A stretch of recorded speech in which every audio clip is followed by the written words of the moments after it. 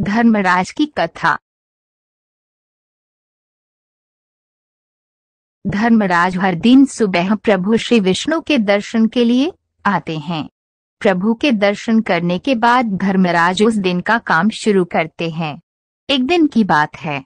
धर्मराज प्रभु नारायण के दर्शन करने के बाद वापस यमलोक में जा रहे थे। उन्होंने मंदिर के बाहर देखा कि एक छोटा सा पक्षी खेल रहा है। धर्मराज चले जा रहे थे कि नज़र वापस करके उस छोटे से पक्षी को देखने लगे, और फिर अपने रास्ते में चले गए। श्री विष्णु जी का वाहन पक्षी राज गरुड़ वहीं खड़े थे। यह सब घटना देखकर गरुड़ जी को पता चल गया कि इस छोटे से पक्षी का आज अंत होने वाला है। गरुड़ जी जानते थे कि धर्मराज जी को टेढ़ी दृष्टि से देखते हैं। उसका टाइम खत्म हो जाता है। गरुड़ जी अपने मन में बहुत दया आया। उन्होंने सोचा कि इस छोटे से पक्षी को मृत्यु के चंगुल से बचाएँगे। यह सोचकर गरुड़ जी उस छोटे से पक्षी को पीठ में बैठाकर बहुत दूर तक ले गए और एक पेड़ के कुरट में छोड़ाए गरुड़ जी ने सोचा, इतनी दूर से यमराज इसका कुछ पता नहीं पाएँगे। अगले दिन में धर्मराज जी आए और प्रभु का दर्शन किया फिर वापस जाते समय गरुड़ जी से कहा, गरुड़, मुझे मालूम था तुम ऐसा करोगे, क्योंकि तुमको पता चल गया था, इसका अंतिम समय आ गया है। किंतु ये संभव नहीं होता है। विधाता की निर्देशानुसार यह सृष्टि चलती है।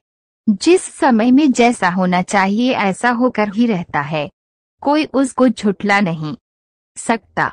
तुम सब जानते हुए भी उसको बचाने की कोशिश की। तुम्हारा प्रयास व्यर्थ गया।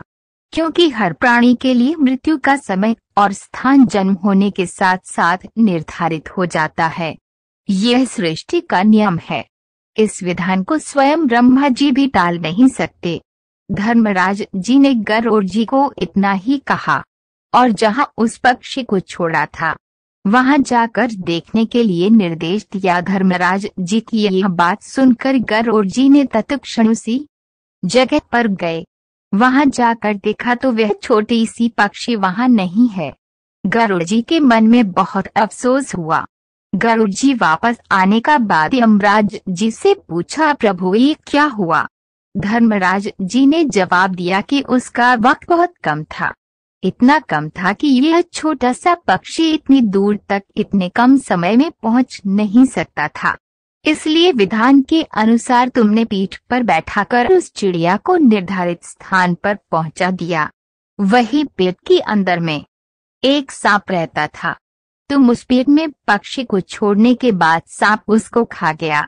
मेरे लिए जो काम मुश्किल हो रहा था, तुमने उसको आसान कर दिया। तुम्हारी वजह से ये काम सही समय और सही जगह पर हुआ। इसीलिए तुमको धन्यवाद देता हूँ। धर्मराज जी ने यह बात कर और जी को समझा दिया और अपने काम में चले। थैंक्स फॉर वॉचिंग ऐसा मैजेंटर कहानी सुनने के लिए है, मेरे चैनल को सब्सक्राइब कैरन लाइक कैरन और कमेंट कैरन